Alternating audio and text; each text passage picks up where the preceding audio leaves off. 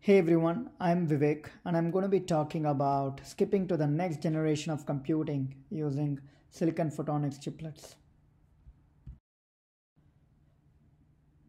The title of this talk is SCIP to the Next Generation of Computing, Extending More Than Moore with Silicon Photonic Chiplets in Package. And all of us are from Broadcom. Um, myself, Vivek Raghunathan, I'm a uh, senior principal engineer and product architect at uh, Broadcom, leading all the product development efforts. And Karl is our senior principal systems architect. Bapi is our uh, systems architect on the NIC side, while Prasad is our architect focusing on networking side. Rebecca focuses on uh, connectivity and uh, a product line manager for our uh, business, and Manish manages the entire marketing and operations for optical systems division at Broadcom. Here's an example of a 2.3 million square foot data center that powers our everyday applications like e-commerce, search engines, video streaming, including this web conferencing. And inside the data center sit over 100k plus servers with CPUs, TPUs, GPUs that I have over 19.5 zettabytes of cloud movement between them with the help of over 10k switches and over million optical interconnects.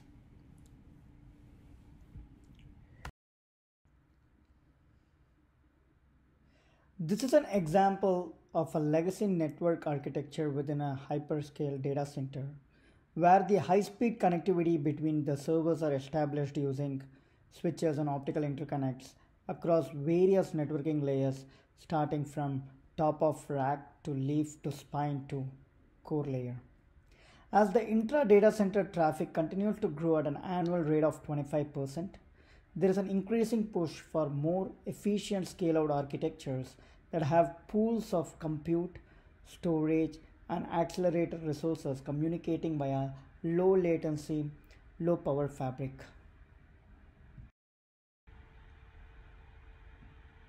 Now consider a case of a memory disaggregation where there is a need for all-to-all -all network interconnects between CPU pool to memory pool. Such a connection can be established with either direct attached copper electrical cables or using CXL over optical cables. However, the copper cables are fairly bulky and pose scaling challenges as the number of nodes continue to increase beyond 8, thereby calling for a need for optical fibers and optical switch implementation as these nodes go up. Such architectures have further motivated the need for reimagining the rack design. The image on the right shows a design of a typical top of rack switch system. It doesn't look very different for a CPU or a GPU server rack unit. Each of them have an ASIC inside the rack unit and a bunch of optical transceiver modules on the front plate pluggable.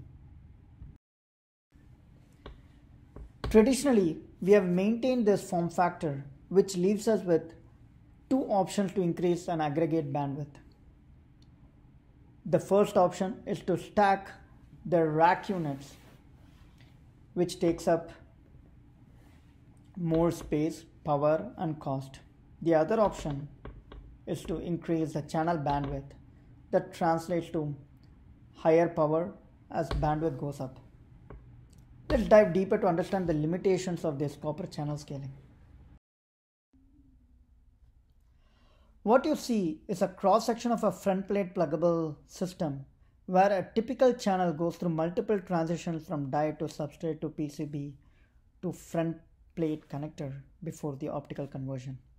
Each of these interfaces translates to additional loss, thereby requiring additional SerDes power. The graph on the bottom left shows how an electrical signal degrades once it leaves an ASIC die and travels to an endpoint. And as the line rate increases from 50G to 100G to 200, the losses through a standard system increases from under 10 dB to over 20 dB of loss. Also, as the number of I/O increases, the fan out distance increases as well. So, in order to flatten the power curve, you would have to keep the total loss prior to the optics conversion constant as the bandwidth increases. This would translate to higher shoreline density and shorter RF distance prior to the optics conversion. In fact, we can evaluate the analog I/O efficiency of the system as a whole by investigating how much of this bandwidth density can we escape from the system and the energy needed to do the same.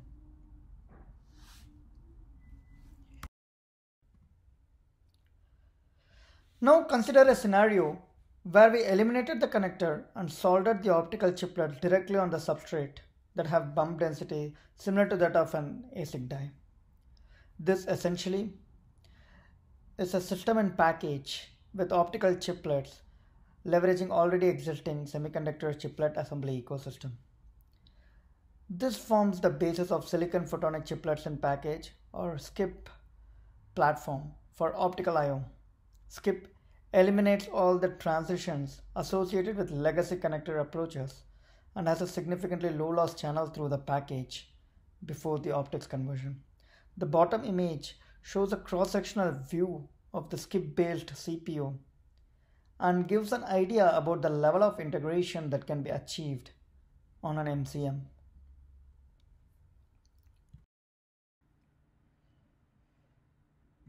Because of the significant density improvement and bit match to the ASIC bump IO in the SCIP approach, you get a two-step improvement in the IO efficiency compared to the other implementations that involves shortening the trace length by bringing the connectors closer to the switch die.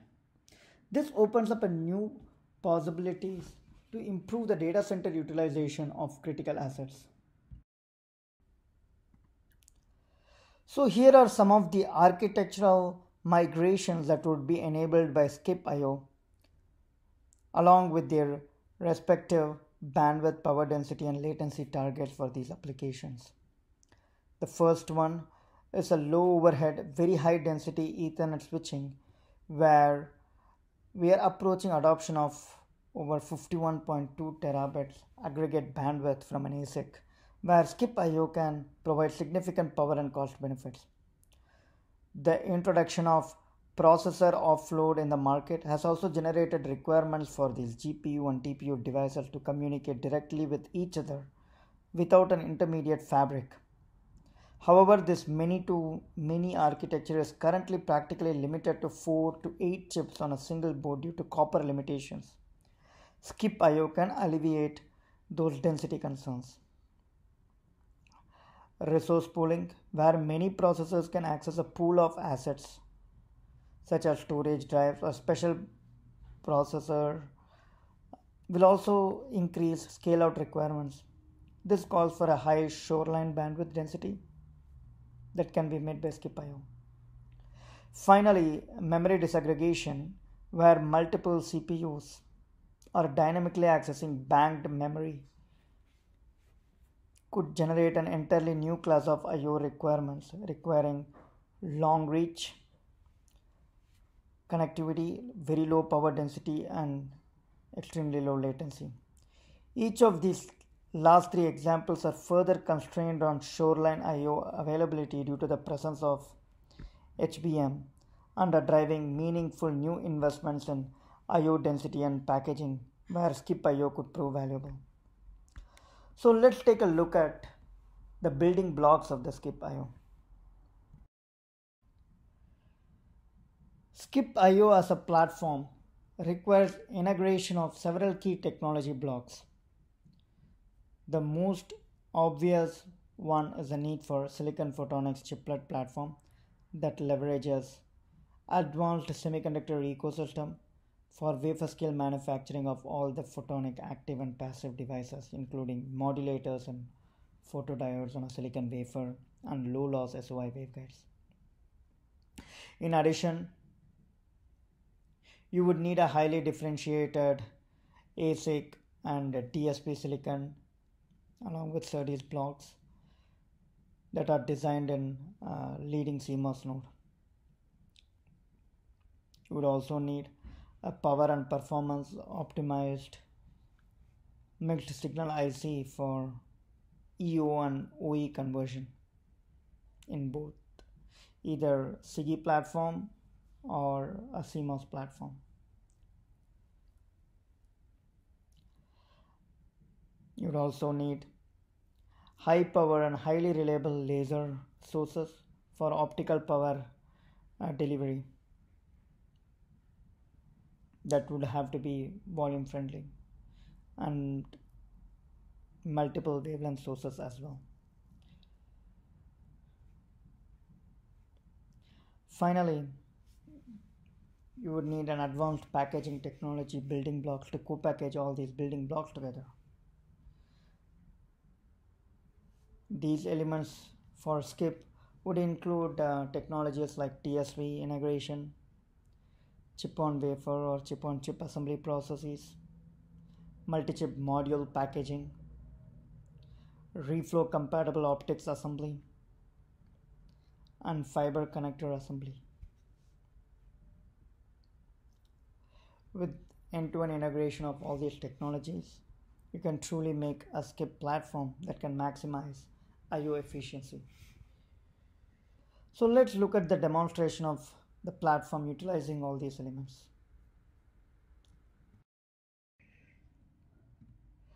We have two different test vehicles for demonstrating the SCIP platform. The first one is that of an 8 channel SCIP IO in a transceiver module form factor that is shown here. In this module, the silicon photonics engine is co-packaged with a digital signal processor die in an MCM package with a 100G serial interface between the DSP and the silicon photonic engine chiplet. The engine has an integrated laser and a detachable optical connector interface. The 8 channel SCIP is reflowed to this PCB thereby demonstrating the capability of the reflow compatibility of the optical interface. The scalability of this platform is proven in the second test vehicle which is a 32 channel variant of the SCIP IO. In this test vehicle we have an MCM of a um, Tomahawk switch ASIC that has 256 channels of 100G serial IO out of which 128 channels of um, serial link escape as optical IO through 4 by 32 channels SCIP while the remaining 128 escape as an electrical IO. We have an external laser in this case providing an optical power to the SCIP through a detachable fiber connector. Thus the fiber connectors have three fiber cables including the transmit uh, receive data path and the laser. So the superiority of this architecture is obvious by looking at the signal integrity performance of the 100 gig channel prior to the optics conversion. Here is a plot of the differential insertion loss of a representative transmitter channel that would be modulating at 100 gig PAM4. The channel loss is around 2 dB at Nyquist frequency of 26 GHz. If you recall the loss plot from before, we are typically looking at 16 dB loss for uh, front plate pluggable or say FPP architecture. The advantage of short RF channel to optics has never been more obvious when you look at a 2 dB for a SCIP channel compared to that of a 16 dB for an FPP channel. So let's take a look at the performance of the optical eye.O. link.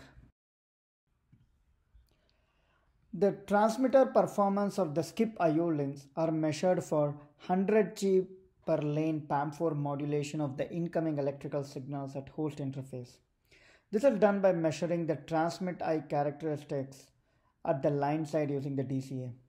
The transmit side of such an optical I.O. link is thus characterized by the linearity of the link as measured by TW and the optical modulation swing as reflected by the extinction ratio. Both the 8 channel and the 32 channel SCIP IO are compliant to IEEE requirements of a 100G PAM4 link. On the receive side, the performance of these links are evaluated based on the pre-FEC bit error rate BER measured at the host receiver side of the link.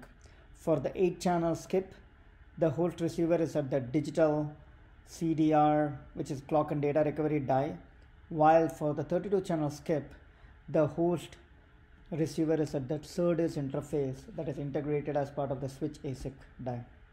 BER is usually plotted as a function of optical modulation amplitude OMA and has a bathtub curve where there is an optimum OMA at which BER is at a minimum characterized by BER flow. At lower than optimum OMA, BER increases due to noise, while at higher than optimum OMA, BER increases due to nonlinearities associated with the overload limit of that of a transimpedance amplifier. The received performances of both the 8 channel and the 32 channel SCIP IO are IEEE compliant. Having demonstrated the feasibility and the scalability of this platform, let's revisit the IO efficiency plot. So I will start off by resizing the scale a little bit. Now if we were to treat the integrated CPU as a CMOS with optical IO, a true yardstick would be to compare it to a CMOS die with an electrical IO. The energy penalty associated with EO and conversion can explain the difference between these two systems. However, in the silicon photonics platform, you have another toolkit in on-chip wavelength muxing and demuxing to increase the bandwidth density, thereby improving the I.O. efficiency. So now you actually have three independent vectors of scaling that uh, you can leverage. The first one is obviously increasing the number of wavelengths that you can mux and demux. In addition, you can also increase the electrical IO density by using advanced packaging. And finally, you can increase the channel speed by leveraging the traditional PPA scaling for a CMOS node. So with these uh, three independent vectors of scaling, you are truly able to scale the IO efficiency of this platform over multiple generations. So let's understand how it influences the CMOS ecosystem. So as we have progressed through the advanced CMOS nodes, analog I.O. efficiency does not scale as well as the digital um, scaling. This has motivated the need for more than Moore approaches involving hybrid chiplet integration approaches in this ecosystem.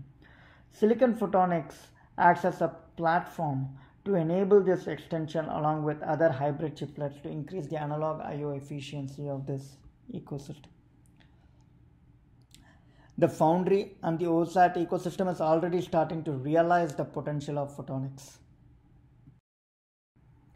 So to summarize, SCIP-based CPU with integrated silicon photonics provide a true step improvement in I/O efficiency of next-gen high-speed interfaces the chiplet ecosystem partner investment in foundry, EDA, assembly and test is crucial. So if you are listening to this talk, you have a role to play in the industry's ability to deliver this platform.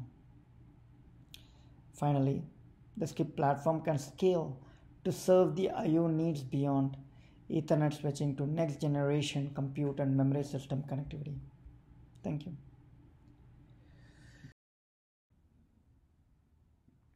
For any questions, do reach out to Manish and uh, you can check out our website for more details. Thank you.